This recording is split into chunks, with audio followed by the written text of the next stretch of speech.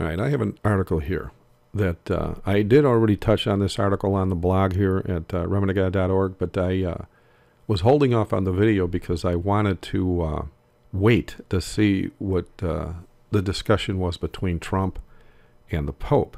I figured that's going to have to be a whole different video all on its own because uh, there is a strong possibility that they might be working towards pushing all the false prophecies that the Jesuits set up long ago, like uh, you know the secret rapture, the seven-year trib, and stuff like that, so as to herald the arrival of Satan on earth, acting like Jesus. But this video is about this article, which more or less is setting the stage for everything else that we've been uh, discussing as Christians over the last few generations. The headline is more or less what this article is about. It's just Trump meeting with the three biggest religions on planet Earth.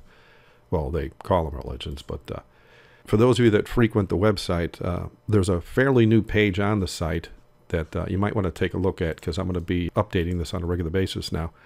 It's in the uh, prophecy section, and then go to prophecy of today and scroll down to the bottom. It's uh, religious laws are coming as prophesied.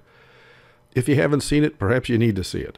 It goes into detail in regards to what the media and and the politicians and just the movers and shakers of today's world are doing so as to assure religious laws are going to be part of society. And as I stated, for literally decades, before and after finding the truth about God's law, wherein I finally became an obedient Christian that truly understands what it means to say, Jesus is Lord of my life, I have noticed that the office of president has seen one wicked president after another my entire life. And if you look into a few of the presidents before you were born, you see how long this was happening.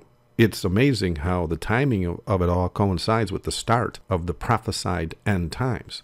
And so, as the Lord revealed to me and many other students of prophecy over the years, was that the presidents in America will become worse and worse to the point the American people will become so fed up that they will demand a man in office that claims to have religious values comparable to their own.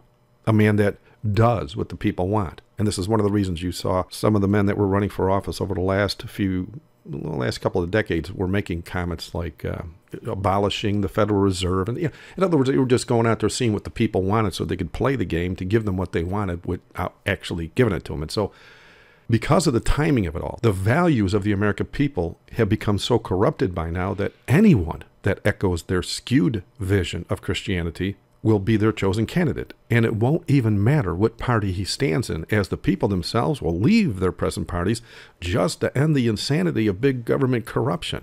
A lot of the independents, for example, voted for Trump because he was echoing, you know, guys like Ross Perot did years ago.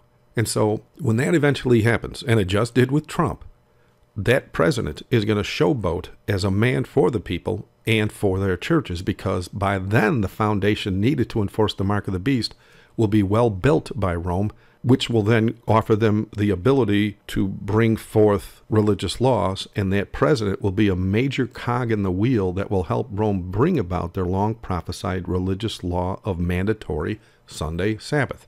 Just 20 days ago, Trump was moved to go ahead on his campaign promise of helping the 501c3 preachers lobby for religious law. I've got a video about that on on uh, YouTube as well as on John 14 29. Now we all know that Bush signed it into law back in March of 2006 that the pastors could lobby for religious law even back then. But as we saw, the pastors were still fearful to do, as is expected with those that have no faith in God and only faith in the money their church members keep giving them. They still feared the Roman Catholic IRS will harass them if they lobbied for laws from their pulpits. And yes, I said Roman Catholic IRS. If you go to uh, RCC Exposed, or wait, I think it's in the uh, corrupt government area here, or uh, government gone bad. Oh, yeah, there it is. Government gone bad, and go down to here, and it's uh, Roman Catholic IRS. I had that many, many years ago. I put that up there. It's pretty obvious. If, if you go, if you read this, you'll see, yeah, it is a Roman Catholic IRS. And since these pastors, these 501c3 government approved pastors, worship the money as prophesied. They're, they, they're not going to step up until that danger of the IRS is removed, even though Bush said it was. But it wasn't officially removed, obviously. And so 20 days ago, well, maybe 21 by the time you see this video posted, but 20 days ago, Trump signed an executive order protecting those pastors from IRS harassment. And I did a short video on that one as well. And what this means is all the preachers, pastors, ministers, and priests in America can easily speak of the need for religious laws from their pulpits, just as prophecy predicted they would once they created the image of the beast in Rome.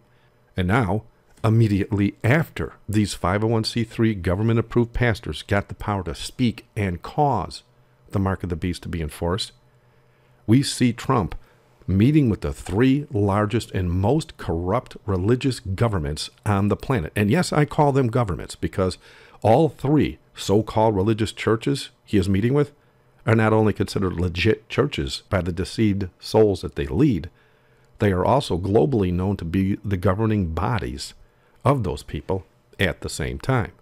As students of the Bible and its prophetic voice, we knew all along how these things would speed up very near the end. And so they have in a big way with the long expected people's president in the White House. And no, I'm not pro Hillary either. I didn't vote for either one of them. So that being said, we, as the long prophesied obedient bride of Christ, need to share present truth with as many as the Lord will send our way each and every day now. They've already set up their foundation. They already have every tool they need now to enforce the mark of the beast. We need to go forth and warn the people now. And then, of course, when we start doing that, they're going to do everything they can to shut us up. But that's not going to be an issue because we were warned about that, and the Lord's already set it up to where we can still do the work. So there is precious little time left, and I would not want to be among the many that have buried their talents in the world they love when Jesus finally gets here to see what they have done with that which he has already revealed to them. Thank you for watching. God bless.